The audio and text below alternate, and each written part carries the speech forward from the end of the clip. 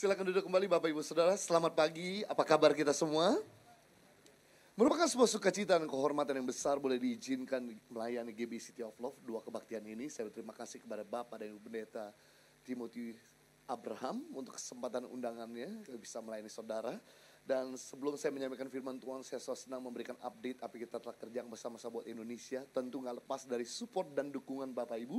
Kami terus berpikir keras, berdoa keras, bekerja keras dalam mengentaskan kemiskinan, kebodohan, dan angka kematian Indonesia. Nah sebentar ada sebuah potret keadaan Indonesia saat ini dan potret setelah saudara menolong Indonesia. Baik kita akan masuk pada firman Tuhan kalau kita semua senang dengan sebuah judul khotbah. Pada ibadah kedua ini saya bujuk khotbah saya dengan tema Lion King Spirit. Menjadi umat pemenang, menjadi umat penakluk. Kebetulan tema kita di tahun ini yaitu membangun jemaat yang sehat. Tadi pagi saya akan saya sudah bicara tentang bagaimana membangun spiritual yang sehat dan sekarang ini saya akan bicara tentang bagaimana membangun mental yang sehat. Dengan bertambahnya usia dan bertambahnya tahun membuat dunia ini tambah problem baik kualitas maupun kuantitasnya. Namun yang saya bangga dan saya salut daripada Tuhan, ternyata Tuhan telah memberikan DNA di dalam diri setiap kita untuk menjadi penakluk dan bukan ditaklukkan. Untuk menjadi pemberani dan bukan pengecut. Untuk menjadi pemenang dan bukan pecundang. Saya teringat sekali jauh-jauh hari sebelum Tuhan menciptakan manusia. Dia menulis dalam dia mengatakan dalam kejadian 1.26 berfirmanlah Allah baiklah kita menjadikan manusia menurut gambar dan rubah kita supaya mereka berkuasa. Kata berkuasa menaklukkan ikan-ikan di laut, burung-burung di udara, atas ternak dan atas seluruh bumi. Kata atas seluruh bumi artinya atas segala persoalan yang ada di bumi. Rupanya Tuhan memberikan pada kita kemampuan untuk menaklukkan segala persoalan yang ada di bumi dan atas segala binatang melata yang merayap di bumi. Yang luar biasa, ternyata kita itu diciptakan menurut gambar dan rupa Tuhan. Kata gambar dan rupa Tuhan artinya sama karakteristiknya. Kata gambar dan rupa Tuhan artinya sama sifatnya. Kata gambar dan rupa Tuhan artinya sama kualitasnya. Dan yang luar biasa, kata gambar dan rupa Tuhan artinya sama materialnya. Jadi kita diciptakan sama kualitasnya dengan Tuhan, sama sifatnya dengan Tuhan, sama karakteristiknya dengan Tuhan, dan sama materialnya dengan Tuhan. Yang luar biasa ketika Tuhan ciptakan Adam, dengan Tuhan ciptakan kita. Tuhan tidak pernah sekali-kali mengurangkan kualitasnya untuk sanggup bekerja di dalam diri kita. Sama dengan perusahaan multination, perusahaan mancanegara, ketika mereka bikin satu produk, dengan 10 produk, mereka tidak akan pernah mengurangkan standarisasinya. Perusahaan multination, perusahaan mancanegara ketika mereka bikin satu produk dengan satu juta produk, mereka tidak akan pernah mengurangkan namanya materialnya. Kalau perusahaan dunia aja mengerti betapa pentingnya menjaga kualitas, betapa pentingnya menjaga standarisasi, maka hal yang sama ketika Tuhan ciptakan Daniel dengan Tuhan ciptakan kita. Tuhan tidak pernah sekali-kali mengurangkan hikmatnya untuk sanggup bekerja dalam diri kita. Ketika Tuhan ciptakan Dani, ketika Tuhan ciptakan Elisa dengan Tuhan ciptakan kita, Tuhan tidak pernah sekali-kali mengurangkan kuasanya untuk sanggup bekerja di dalam diri kita. Sebab kita diciptakan oleh Tuhan menjadi man of God. Manusia Allah. Kata gambar dan rupa Tuhan disimpulkan dalam perjanjian baru oleh Paulus dalam 1 Timotius 6 ayat 11 yaitu man of God. Manusia Allah. Katakan man of God. 3, 2, 1. Mari saya beri definisi siapa itu man of God. Man of God adalah seseorang yang punya kemampuan seperti Allah. Sekali lagi saya ulangi. Man of God adalah seseorang yang punya kemampuan seperti Allah. Siapa itu man of steel? Man of steel adalah seseorang yang punya kemampuan seperti baja. Siapa itu Spiderman? Spiderman adalah seseorang yang punya kemampuan seperti laba-laba. Siapa itu Iron Man? Iron Man adalah seseorang yang punya kemampuan seperti setrikaan. Siapa itu Ant-Man? Ant-Man adalah seseorang yang punya kemampuan seperti semut. Siapa itu Aquaman? Aquaman adalah seseorang yang punya kemampuan seperti aqua. Jadi kalau ada orang ngangkat galon aqua itulah Aquaman. Tapi semua itu ada hasil editan. Semua itu adalah fiction. Itu nggak pernah terjadi sebenarnya di dunia. Semua itu cuma cerita film. Tapi siapa yang menyangka? Daud yang kecil bisa mengalahkan Goliat yang badannya tiga kali lebih besar dari Daud. Dan saya beritahu man of God bukan ada sejak zaman jadul dalam Alkitab. Tapi man of God juga ada dalam ruangan ini seseorang yang punya kemampuan seperti Allah. Itu sebabnya dalam Alkitab ada dua hewan yang melambangkan kekristenan sejati. Dalam Alkitab ada dua hewan yang melambangkan kepemimpinan sejati. Dalam Alkitab ada dua hewan yang melambangkan pemenang sejati. Yang pertama adalah eagle, yang kedua adalah lion. Eagle adalah raja dari jenis burung di udara. Lion adalah raja rimba. Dua hewan ini tidak pernah ada takutnya. Dua hewan ini tidak pernah ada mundur. Eagle ketika ketemu badai di depan, eagle tidak balik kucing. Kalau eagle balik kucing, dia tidak akan pernah sampai tujuan. Eagle kalau lihat badai di depan, dia tidak balik arah. Kalau eagle balik arah, dia akan mati kelaparan. Jadi buat eagle, lebih baik dia hadapi problem, lebih baik dia tabrak problem, daripada dia harus mati kelaparan. Dan ketika eagle nabrak badai, memang dia tergoncangkan. Memang dia pusing. Tapi ketika dia tergoncangkan, yang dia lakukan sama eagle dia mengepakkan sayapnya dan dia membumbung lebih tinggi. Eagle akan terbang membosankan. Eagle akan terbang fresh dan normal kalau dia tidak pernah ketemu badai. Justru karena badai lah membuat eagle menaikkan altitude ketinggian dan mengendari badai. Nah kita ini bukan Christian chicken, tapi kita ini Christian eagle. Kalau ketemu badai, harusnya kita tidak pahit, tidak kecewa, tidak dendam, dan tidak balik kucing. Justru karena badai membuat kita menjadi seperti Yesus, karena badai membuat kita makin berkualitas, karena kita eagle. Nah, saya nggak bahas tentang eagle hari ini, tapi saya akan membahas tentang lion. Sampai Yesus sendiri tidak sungkan-sungkan menyebut dirinya adalah lion of Jehuda. Dan lion is not everything. Lion bukan binatang segala-galanya. Yang pertama, lion is not the tallest animal in the world. Lion bukan binatang paling tinggi. Masih ada jerapah yang lebih tinggi dari lion. Yang kedua, lion is not the strongest animal in the world. Lion bukan binatang paling kuat. Masih ada bear beruang yang jauh lebih kuat dari singa. Yang ketiga, lion is not the biggest animal in the world. Lion bukan binatang paling besar. Masih ada elephant, gajah yang lebih besar dari singa.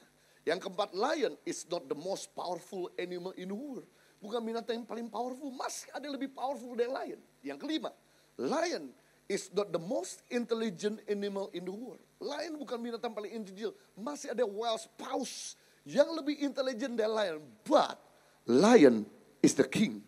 Lion is a leader of all the tallest, of all the strongest, of all the biggest, of all the most powerful, of all the most intelligent. Jadi walaupun singa bukan binatang paling tinggi, Walaupun singa bukan binatang paling kuat, walaupun singa bukan binatang paling besar, walaupun singa bukan binatang paling powerful, walaupun singa bukan binatang paling intelijen, tapi singa adalah pemimpin dari yang tertinggi.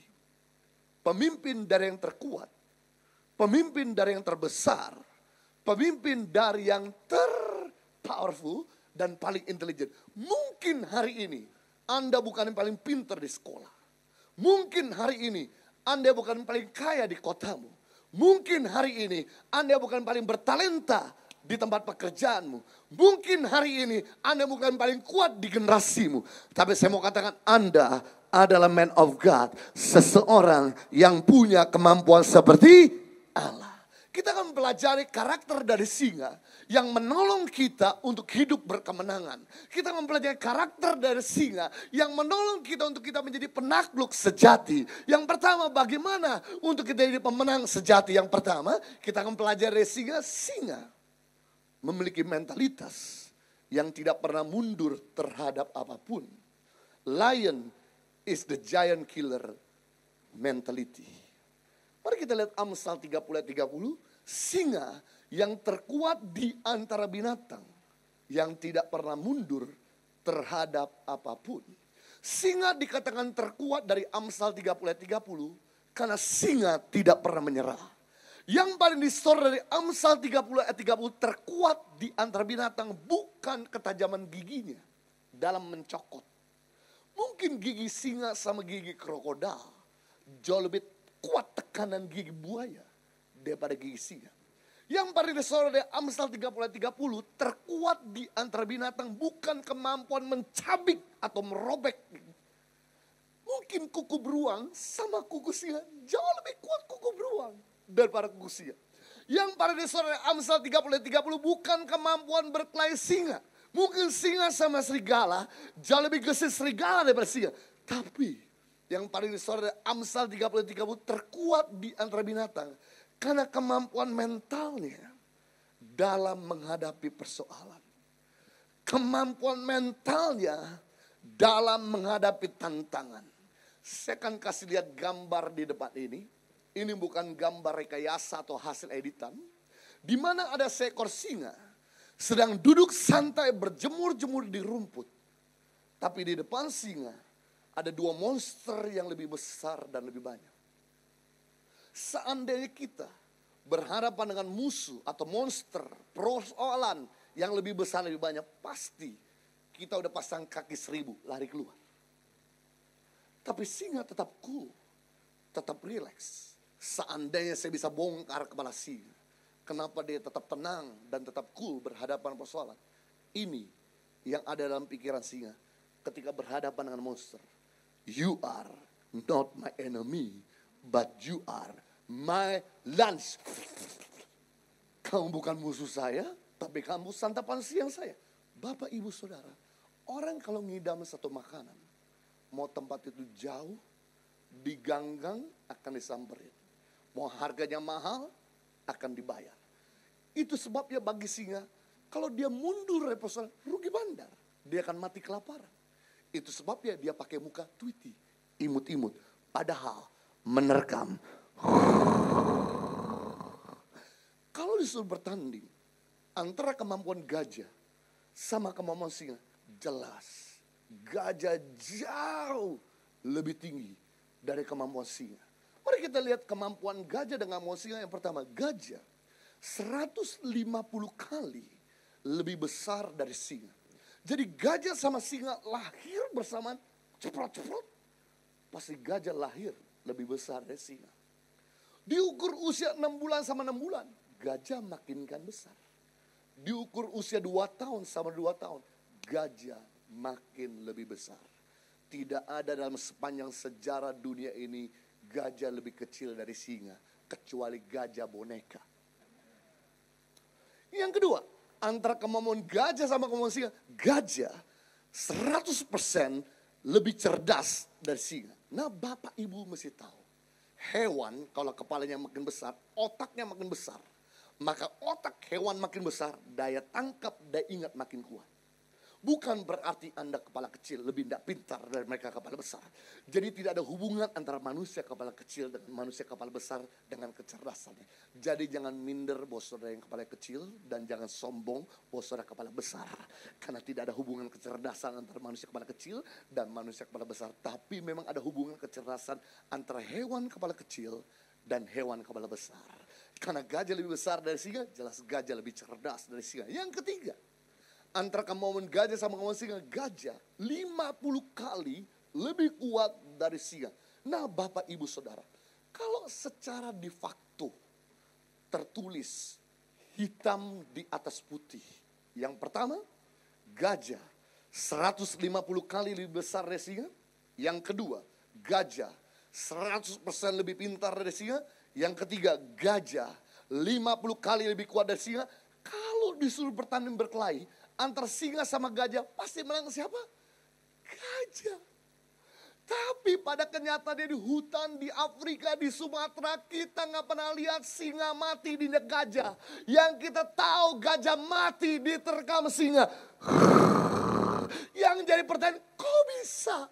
Yang lebih kecil, lebih nggak pintar, lebih lemah, mengalahkan yang lebih kuat, lebih besar, lebih cerdas. Karena singa memiliki mentalitas yang tidak pernah mundur terhadap apa pun. Ternyata Bapak Ibu Saudara, ketika saya mempelajari firman Tuhan, cara Yesus memilih murid-murid ternyata bukan berdasarkan darah ningrat. Bukan berdasarkan perawakan elok. Bukan berdasarkan dompet tebal. Bukan berdasarkan otot tebal. Ternyata cara Yesus memilih murid-murid berdasarkan mental juara. Inilah materi khotbah Yesus pertama di depan calon murid-muridnya. Ini khotbah Yesus pertama sebelum dia punya murid-murid. Dalam Matius pasal 4 ayat 17. Sejak waktu itulah Yesus memberitakan bertobatlah sebab kerajaan surga sudah dekat. Katakan bertobatlah. 3, 2, 1. Kata bertobatlah dalam bahasa Yunani atau dalam bahasa asli artinya metanoia. Katakan metanoia. 3, 2, 1. Metanoia berasal dari dua akar kata. Yang pertama meta, yang kedua noia. Sekali lagi metanoia berasal dari dua akar kata. Yang pertama meta, yang kedua noia. Meta artinya perubahan, noia artinya pikiran. Makanya kalau kita punya teman namanya meta artinya perubahan. Kalau kita punya teman namanya noia artinya pikiran. Makanya dari kata noia muncullah arti kata bang andi noia. Pikirannya kick Andy. Tapi yang keren, metanoia artinya perubahan cara berpikir penakut. Menjadi cara berpikir pemberani. Metanoia artinya perubahan cara berpikir pecundang. Menjadi cara berpikir juara. Metanoia artinya perubahan cara berpikir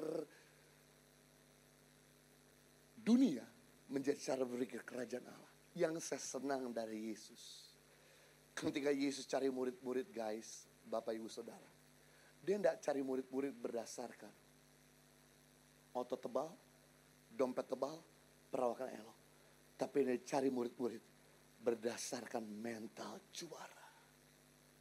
Jadi kata bertobat di sini yang Yesus maksudkan bukan hanya mereka yang mampu hidup kudus, bukan hanya mereka yang mampu hidup suci, tapi ada kriteria kedua untuk jadi murid Yesus. Mereka punya mental juara. Maka Yesus memberikan sebuah peringatan keras kepada calon murid-muridnya. Barang siapa mau mengikut aku, kamu harus rela menyangkal dirimu dan memikul salib. Jadi murid-murid tahu di alam bawah sadar. Ikut Yesus bukan selalu terima laba. Harus siap mengalami kerugian. Ikut Yesus bukan selalu jalan ke atas. Harus siap direndahkan. Ikut Yesus bukan selalu pintu terbuka, siap pintu ditutup. Dan yang luar biasa, karena murid-murid tahu di alam bawah sadar ikut Yesus adalah tantangan. Maka dari 12 murid Yesus yang gagal cuma satu. Namanya siapa? Yudas. Berbeda Bapak Ibu Saudara. Ketika Musa memilih murid-murid. Ketika Musa memilih murid-murid ternyata berdasarkan darah ningrat berdasarkan otot tebal ketika dipilih the best of the best dari setiap suku bangsa Israel dipilih yang terbaik dari suku Ruben the best of the best dari suku Naftali the best of the best dari suku Yehuda dan sebagainya dipilihnya the best of the best. Bukan dipilih berdasarkan mental juara tapi berdasarkan appearance dan ketika mereka diutus untuk mengintai di tanah Kanaan. Maka 12 murid Musa suaranya terpecah dua. Brek. 10 dari 12 murid Musa berkata, benar tanah dijanjikan Tuhan itu berlimpah susu dan madu. Buah-buahan saya namun orang yang kuat, besar, ahli bertempur. kita punya pengalaman 400 tahun budak, 400 tahun petani, 400 tahun peternak. Bagaimana mungkin budak bisa mengalahkan petempur? Bagaimana mungkin petani bisa mengalahkan petempur? Kita di hadapan mereka bagaikan belalang. Pasti kita akan ditelan. Bapak, Ibu, Saudara, kalau kita menganggap diri kita belalang, apa pun yang dilihat jadi besar. Maka ketika dua juta bangsa Israel mendengar kabar dan sepuluh murid-murid Musa menangislah dua juta bangsa Israel sambil berkata pulangkan saja aku pada Mesirku. Untung waktu itu masih ada dua murid Musa yang punya mental juara. Yang tua bernama Kaleb, yang muda bernama Yosua. Dan mereka berkata tidak, Sekalipun tanah dijanjikan Tuhan itu berlimpah dengan orang-orang yang kuat, ahli bertempur dan banyak. Tapi Tuhan berjanji sama kita bahwa kita akan telan mereka. Kata dua juta bangsa, maju sendiri kau. Perhatikan baik-baik. Dari 12 murid Yesus, yang gagal berapa? Dari 12 murid Musa, yang gagal berapa? 10. Bapak Ibu Saudara, kalau kita sebagai tim HRD, atau kita sebagai pimpinan perusahaan, kalau kita cari karyawan, tolong jangan cari karyawan berdasarkan CV, resume, pengalaman yang keren, latar belakang yang bagus. Tapi carilah karyawan berdasarkan mental juara. Kalau kita cari karyawan berdasarkan pengalaman keren, latar belakang yang bagus, mental lembek, begitu ditegur pasti minta keluar. Tapi kalau kita cari karyawan Mungkin latar belakang biasa-biasa. Tapi mental juara. Ada kemungkinan besar dia akan tetap loyal di perusahaan kita. Akan kemungkinan besar dia akan tetap jujur di perusahaan kita. Sama halnya Bapak Ibu Saudara. Kalau cari calon menantu. Jangan cari calon menantu berdasarkan dompet tebal. Mental lembek. Baru nanti ditegur dikit sama kita. Langsung minta putus dan cerai. Sama halnya, kalau kita cari pasangan hidup, jangan cari pasangan hidup berdasarkan perawakan elok, mental lembek. Kalau kita cari pasangan hidup berdasarkan perawakan elok, mental lembek, begitu lihat kumbang yang baru, oh, pindah ke lain hati, sakit sampai ke sini. Tapi kalau kita cari calon menantu, mungkin dompet tipis, mental juara, ada kemungkinan besar, ada kemungkinan besar dompetnya tipis jadi tebal ada kemungkinan besar. Nggak selalu ada kemungkinan. Kalau Anda cari pasang hidup, mungkin wajah biasa-biasa. Tapi mental juara, maka wajah biasa-biasa bisa jadi luar biasa. Itu sebab penting. Dan yang luar biasa Bapak Ibu Saudara, bangsa Israel percaya Tuhan itu besar. Bangsa Israel percaya bahwa Immanuel tidak pernah ingkar janji. Tapi perhatikan baik-baik, hanya cuma dua orang yang punya mental juara yang bisa menikmati tanda perjanjian. Berarti untuk menikmati janji Tuhan di tahun 2019 bukan sekadar percaya Tuhan besar, bukan sekadar percaya Immanuel tidak pernah ingkar janji, tapi kita punya mental juara. Itu sebabnya bagi seorang atlet untuk memenangkan sebuah pertandingan dibutuhkan dua elemen paling utama utama. Yang pertama bagi seorang atlet untuk memenangkan sebuah pertandingan dibutuhkan skill. Yang kedua dibutuhkan mental juara. Sekalipun atlet itu punya skill yang excellent, mental lembek. Kalau main bola tidak pernah terkalahkan waktu high school. Main bola tidak pernah terkalahkan waktu universitas. Tapi karena dia takut naik pesawat terbang, maka dia tidak akan pernah bawa piala dunia. Jadi piala dunia diperuntukkan buat mereka yang berani naik pesawat terbang. Suatu kali Ketika saya sedang mempersiapkan firman Tuhan, tiba-tiba teman saya kirim SMS, ting, Jo, tolong doakan. Tim kesebelasan Garuda Indonesia sedang bertanding bola dengan tim kesebelasan Korea Selatan. Saya kaget. Korea Selatan dalam bola Bapak Ibu adalah macannya Asia. Korea Selatan Australia, Australia dilibas. Korea Selatan lawan Jepang, Jepang dilibas. Korea Selatan lawan Thailand, Thailand dilibas. Terakhir Piala Dunia kemarin. Korea Selatan lawan Jerman, Jerman dilibas. Sedangkan Indonesia dalam bola kan tikus di Asia. Indonesia lawan Malaysia lima kali, Indonesia dilibas, Indonesia lawan Thailand empat kali, Indonesia dilibas. Eh, ini tikus. Berani-berani berhadapan dengan macan tanpa minta doa restu hamba Tuhan. Para ulama dan tokoh-tokoh agama Ketika saya nyalakan televisi mereka udah bertanding bola di menit ke-30 daripada saya pesimis sebagai hamba Allah, tentu saya tumbang tangan televisi tersebut kiranya roh hikmat wayang turun atasmu dan puji Tuhan. Untung di menit ke-97 Indonesia bisa mengalahkan Korea Selatan 3-2. 3 untuk Indonesia, 2 untuk Korea. Wajah Bapak Ibu seperti meragukan saya sekali. Oke, tadi saya bongkar kepala singa. Izinkan saya bongkar kepala Bapak Ibu. Coba bayangkan sebentar di benak pikiran kita. Bayangkan Bagaimana mungkin temulawak bisa mengalahkan gingseng? Saya bongkar kepala saudara lebih dalam lagi. Coba bayangkan, bayangkan. Bagaimana Politron buatan Kudus Jawa Tengah bisa mengalahkan Samsung. Tapi ingat, Samsung pernah di band tidak boleh naik pesawat terbang. Tapi Politron buatan Jawa Tengah tidak pernah di band tetap bisa naik pesawat terbang. Itu sebabnya pulang dari tempat ini jangan cuma cari gingseng, carilah temulawak. Sebab iman adalah modal kita menuju ke tempat yang belum pasti. Iman atau mental juara adalah modal kita menuju ke tempat yang belum kelihatan. Jadi kalau Anda mau meraih target-targetmu yang besar, target-targetmu yang hebat di akhir tahun ini, yang kita perlu lakukan adalah kita harus punya mental juara.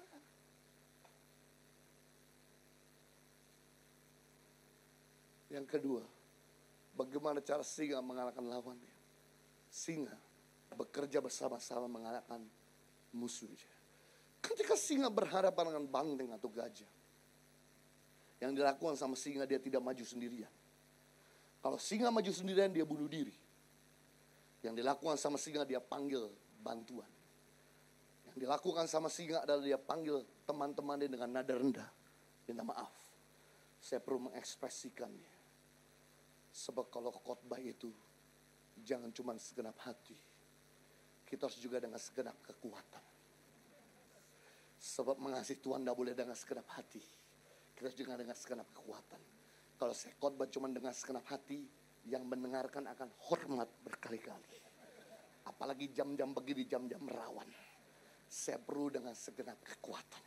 Minta maaf, saya akan ekspresikan bagaimana singa memanggil sahabat ya.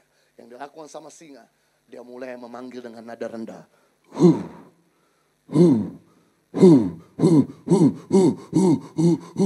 Maka teman-teman sedang ada di hutan lagi tidur.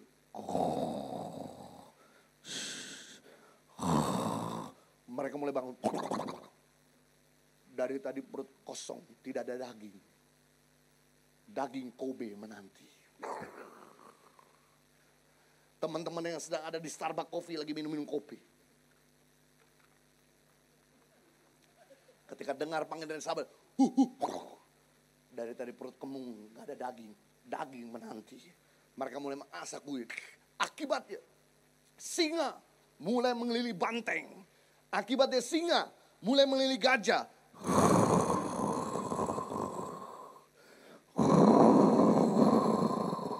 Rupanya singa bisa mengalahkan banteng dan gajah karena main keroyokan.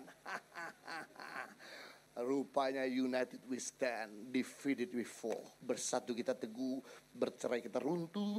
Pepatah Indonesia yang dihakpaten karena film Captain America Civil War, Avenger. Bapak ibu saudara, saya ini tidak pernah takut dengan namanya minoritas. Tapi izinkan saya buka kartu. Yang saya pada takutkan dalam hidup saya adalah perpecahan. Sebab kerajaan yang terpecah-pecah pasti tidak akan bertahan, tidak akan pernah bertahan lama. Keluarga yang terpecah-pecah pasti akan segera bercerai. Tapi sejarah menulis berkali-kali, selama minoritas bersatu, minoritas bisa menelan mayoritas. Siapa yang menyangka Gideon dengan jumlah pengikut 300 bisa mengalahkan tentara media Persia yang jumlahnya 13.500. Berarti satu tentara Gideon bisa mengalahkan tentara media Persia 450. Firman Tuhan dalam perjanjian lama menuliskan satu di antara kita bisa mengalahkan beribu-ribu, dua di antara kita mengalahkan sepuluh ribu. Harusnya satu seribu, dua dua ribu. Bapak Ibu mesti tahu, firman Tuhan telah memberikan pada kita pandangan. Kesatuan adalah gabungan dua atau tiga energi yang menghasilkan sepuluh kali lipat kekuatan ganda. Sekali lagi saya ulangi, kesatuan adalah gabungan dua atau tiga energi yang menghasilkan sepuluh kali lipat kekuatan ganda. Itu sebabnya kenapa tali tambang selalu bergandengan dengan tiga tali yang lain. Karena tali tambang mengerti satu tali sanggup mengangkat 100 kilo beban, dua tali sendiri-sendiri 200 kilo beban, tiga tali sendiri-sendiri 300 kilo beban. Namun apa yang terjadi ketika tali tambang bergandengan? Sepuluh kali lipat kekuatan ganda. Satu, seratus. Dua dikalikan sepuluh seribu. Tiga dikalikan lagi sepuluh, sepuluh ribu. Makanya firman Tuhan mengatakan dua tiga orang sepakat Tuhan hadir. Dua tiga orang sehati permintaan apa pun yang diminta akan dikabulkan. Kekuatan kesatuan luar biasa. Mari saya buktikan. Tuhan sendiri melirik dari surga. Ketika manusia itu bersatu, mereka ingin membangun satu menara yang lebih tinggi daripada yang ada di Dubai. Waktu itu belum ada alat berat seperti sekarang ini. Ketika mereka bersatu, Tuhan melirik dari surga. Betapa dahsyatnya kekuatan kesatuan. Kejadian 11 ayat 6. Dan ia berfirman, kalau Tuhan berfirman pasti dahsyat. Gak mungkin gak dahsyat. Mereka ini satu bangsa dengan satu bahasa, untuk semua artinya satu bangsa dengan satu tujuan, untuk semua satu bangsa dengan satu pikiran, untuk semuanya firman Tuhan berkata, Tuhan sendiri mengakui, ini barulah permulaan usaha mereka. Perhatikan baik-baik, kata Tuhan, mulai dari sekarang. Apa pun juga yang mereka pikirkan, yang mereka rencanakan, yang mereka blueprintkan, yang mereka tuliskan, tidak ada yang tidak dapat terlaksana. Berarti rencana manusia tidak akan pernah tergagalkan ketika manusia sehati. Ketika manusia itu rukun. Ketika manusia itu bergandengan tangan.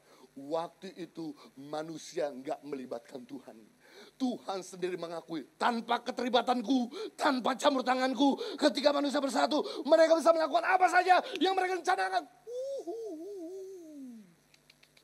Tanpa Tuhan bisa berhasil, apalagi kita bersama Tuhan plus kesatuan, pasti tidak ada yang bisa menggagalkan semua visi, misi dan rencana kita. Yang percaya katakan amin dan beri tepuk tangan yang meriah buat Raja kita. Itu sebabnya penting di sini. If you walk alone, you walk faster. But if you walk together, you walk further. Kalau Anda jalan sendirian, Anda berjalan lebih cepat. Kalau Anda berjalan bersama-sama, Anda berjalan lebih jauh. Uh, perkara jauh. Perkara mahakarya. Perkara besar. Hanya cuma bisa dicapai bersama. Guys, saya tahu orang di sebelahmu yang punya kekurangan. Tapi orang di sebelahmu punya kelebihan yang bisa menolong kekuranganmu. Saya tahu Bapak Ibu Saudara Anda punya banyak kelebihan. Tapi Anda punya kekurangan yang perlu ditolong oleh orang lain. Itu sebabnya di sini Bapak Ibu Saudara. Anda harus mampu terkonek dan bekerja sama dengan enam yang ada di sekitar kita. Yang pertama, kita harus mampu terkonek dengan ada di atas. Yang ada di atas bicara Tuhan. Kita ketika kita bisa bekerja sama dengan Tuhan, maka dia akan memampukan keterbatasan kita. Yang kedua, kita harus mampu terkonek dengan yang ada di bawah. Yang ada di bawah itu bicara orang-orang yang lebih muda. Bapak, Ibu, Saudara, orang yang lebih muda biasa terdapat namanya kreativitas. Itu sebabnya kita semua yang tua-tua harus libatkan yang muda supaya kita makin berinovasi. Makanya perusahaan dan organisasi kalau isinya orang tua pasti dia nggak akan bisa berinovasi karena orang yang berusia 50 tahun ke atas adalah orang yang stabil, orang yang bijaksana, dan orang yang anti perubahan.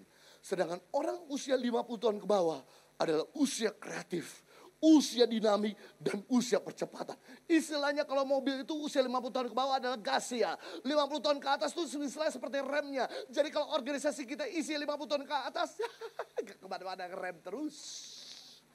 Kalau organisasi kita mau jalan, tentu isinya harus 60 persen. Anak muda, supaya gerak, ngebus, bus. Makanya opa dan oma bergaul terus dengan cucumu. Bapak dan ibu harus terkonek sama anak-anak.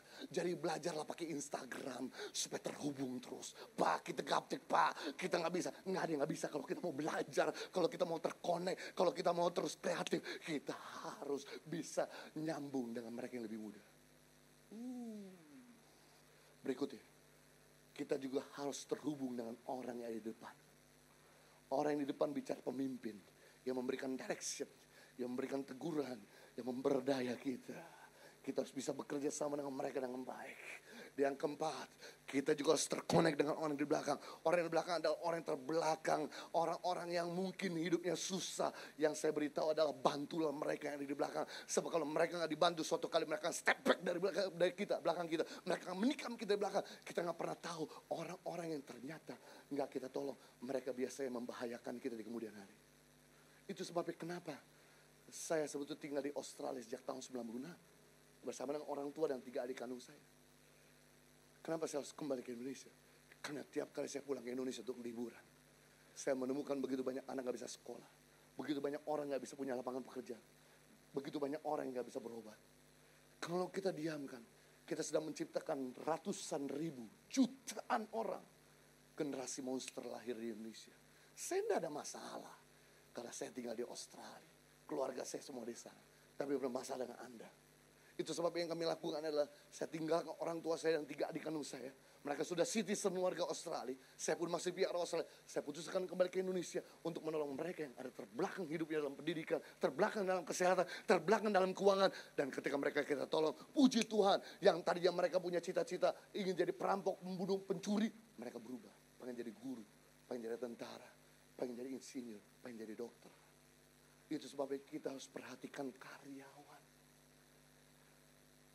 Karena mereka kadang-kadang bisa bahaya kalau kita nggak perhatikan. Berikutnya, kita harus bisa kerjasama dengan orang di sebelah kanan. Orang di sebelah kanan adalah orang yang Anda percaya yang selalu ada bersama dengan kau, istrimu, anakmu, orang-orang yang selalu ada bersama dengan kita. Kita harus terus jaga hubungan mereka. Dan terakhir jangan lupa, kita harus bekerja sama dengan orang yang sebelah kiri. Sebelah kiri bicara orang yang oposisi dengan kita. Orang yang selalu nggak bersama dengan kita. Orang yang selalu berbeda pendapat dengan kita. Saya beritahu, oposisi belum tentu salah. Perbedaan pendapat belum tentu salah. Perbedaan pendapat justru membuat kita memutuskan lebih bijaksana. Perbedaan pendapat justru membuat kita terhindar kesalahan.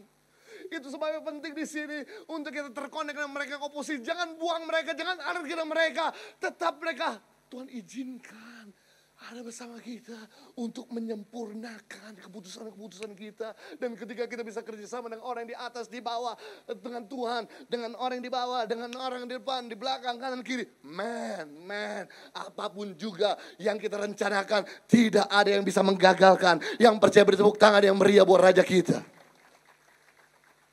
Yang ketiga terakhir kemudian saya selesai. Bagaimana cara singa mengalahkan lawannya? Singa persisten dalam menyerang singa persisten. Ketika singa berhadapan dengan gajah, yang dilakukan sama gajah, gajah mulai nantang singa dengan nada tinggi. Singa kemudian nantang balik dengan nada rendah. Sekali lagi kita harus mengkhotbahkan bukan dengan segenap hati saja. Harus dengan segenap kekuatan. Gajah Nantang lagi nada tinggi. Singa. Nantang lagi nada Gajah. Nantang lagi nada tinggi. Kata singa, that's it, cukup. Dari tadi wacana terus kapan wahana. Jangan cuma drama, action, action. Eh, gajah drama lagi. Kata singa, that's it. Singa mulai mengeluarkan kuku Black Panther. Wakanda. Sedap. Berupaya saudara nonton juga film-film itu. Dan ketika singa mengeluarkan kukunya, singa mulai menyerang gajah. Wacap! Begitu. Kuku singa nancap di gagi gajah. Kalau nggak percaya, pergilah ke Ragunan. Dan coloklah bokong gajah dengan garpu. Maka gempa bumi sebesar 7,5 skala liter. Lebih besar yang pernah terjadi di Palu akan menggoncang tangan, kepala, dan badan kita. Tapi saya belajar ya singa. Singa lemas, singa pusing. Tapi dia nggak pernah melepaskan taringnya, cakarannya. Dia tusuk lebih dalam lagi ke daging bagian dalam gajah. Akibatnya kekuatan gajah makin lama, makin melemah, makin lama makin lumpuh.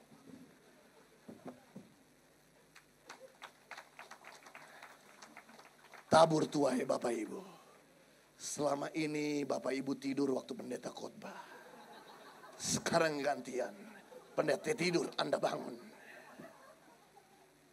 Tapi apa yang terjadi ketika gajah mulai lumpuh, kekuatan singa makin lama, makin powerful. Bukan cuma aktor yang jago berakting. Pendeta zaman now harus jago berakting juga. Catat ini baik-baik. Oke, saya tahu sekarang bukan zaman mencatat. Foto ini baik-baik. Singa dipandang menjadi terkuat karena daya tahan yang luar biasa dalam menghadapi serangan maupun dalam menyerang. Persisten bukan hanya kemampuan untuk bertahan atas hal yang sukar, tapi membuat Anda tambah berbobot dan membuat kekuatan lawan tambah lemah. Kekuatan seseorang tidak terletak pada besar tubuhnya, tapi pada kegigihannya. Persisten selalu meningkatkan kemajuan, bukan yang kuat, tapi yang gigih yang menjadikan mereka manusia besar, bukan yang kuat, tapi yang persisten yang menjadikan mereka manusia besar. Nah, persoalannya begini Bapak Ibu. Manusia itu paling hebat dalam hal memulai. Tapi manusia paling lemah dalam hal maintenance. Sekali manusia itu paling hebat dalam hal memulai. Bang sangat berapi-api ketika memulai yang baru. Tapi manusia itu selalu lemah dalam hal konsisten. Saya beritahu, contoh, contoh, contoh, contoh. Dua contoh. Biasanya kalau menjelang awal tahun. Kita langsung konsisten. Untuk apply, pergi ke gym. Untuk buat tubuh ini sehat untuk buat kita punya perut kecil. Tapi lihat, begitu menjelang akhir tahun, tempat-tempat gym sepi. Promo besar-besaran tidak laku. Kenapa? Karena manusia sudah malas untuk pergi gym mulai bosan. Orang itu paling hebat dalam hal mulai.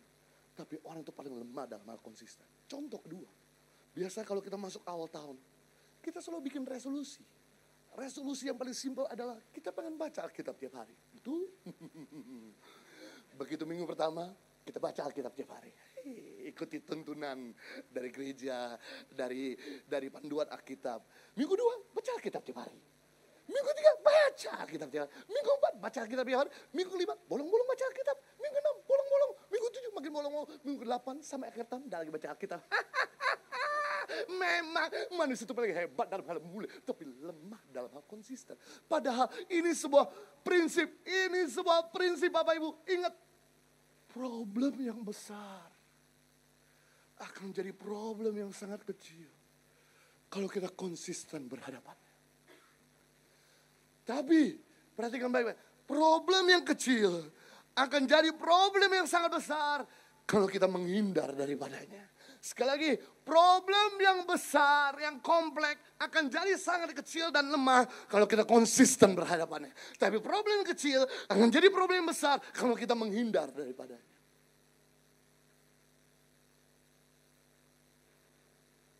Bangsa Israel memang punya problem dalam hal bertempur. Karena mereka punya latar belakang peternak, budak, dan petani. Tapi ketika mereka baru saja dikeluarkan dari tanah perbudakan. Baru sampai di padang gurun. Selama 40 tahun. Hakim-hakim pasal 3 ayat 1 sampai 2. Ternyata Tuhan sengaja mengirim musuh-musuh kecil untuk melatih tangan bangsa Israel untuk ahli bertempur. Karena musuhnya di tanah perjanjian jauh lebih kuat, jauh lebih banyak, jauh lebih buas. Itu sebabnya selama 40 tahun dilatihnya budak jadi petempur, petani jadi petempur, peternak jadi petempur. Dan ketika mereka dilatihnya secara konsisten selama 40 tahun. Dan ketika mereka masuk tanah perjanjian, mereka lihat musuh yang besar sama levelnya dengan mereka. Dan mereka bisa tumpas habis. Tidak ada yang nggak bisa. Asalkan kita mau konsisten. Kenapa sampai hari ini kita nggak pernah bisa berbicara depan umum? Karena kita nggak pernah konsisten berbicara dalam kelompok kecil. Kenapa sampai hari ini kita nggak pernah bisa berbicara bahasa Inggris? Karena kita nggak pernah konsisten communicate English. Kenapa sampai hari ini kita nggak pernah bisa masak? Karena kita nggak pernah konsisten pergi ke dapur. Jadi masalahnya bukan nggak bisa, masalahnya nggak konsisten. Nggak ada yang nggak bisa. Anda gagal bukan anak bodoh. Anda gagal anak karena Anda kurang persiapan. Anda berhasil bukan karena Anda jenius. Anda berhasil karena Anda matang persiapan. Orang matang persiapan pasti bisa, pasti berhasil. Orang minim persiapan pasti gagal.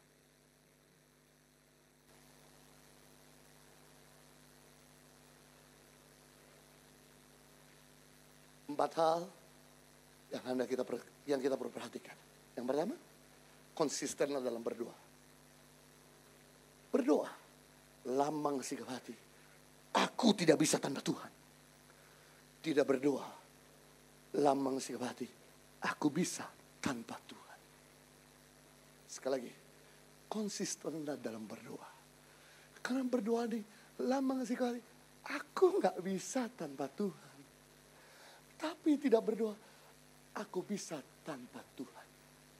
Makanya orang yang konsisten berdoa selalu mengecap tangan Tuhan. Tapi orang yang tidak pernah berdoa tidak mengecap tangannya. Yang kedua, konsistenlah merenung firman. Yosua 1 8, orang yang merenung firman siang dan malam, apa saja dibuatnya berhasil dan beruntung. Bapak Ibu berhasil dan beruntung. Katakan berhasil dan beruntung. 3, 2, 1. Banyak orang berhasil masuk tahun 2018. Belum tentu beruntung di tahun 2018. Banyak orang berhasil masuk tahun 2019.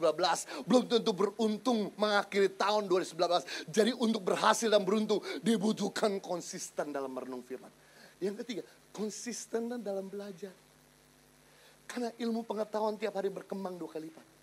Jadi kalau kita nggak pernah belajar, mulai terjadi jarak, mulai nggak nyambung, mulai gap yang lebar. Akhirnya kita mulai ditinggalkan. Makanya usaha yang nggak inovatif. Kita semua yang tidak belajar, kita mulai ditinggalkan yang lain. Yang keempat, konsistenlah berlatih. Ketika kita berlatih, kita pasti bisa. Kita nggak bisa karena kita kurang berlatih. Ketika kita melakukan empat konsisten ini, pasti 2019 akan menjadi tahun yang sehat dalam usaha kesehatan kita, pekerjaan kita, pelayanan kita, bahkan keluarga kita. Yang percaya katakan amin dan beri tepuk tangan yang meriah raja kita. Mari kita berdoa Bapak di surga.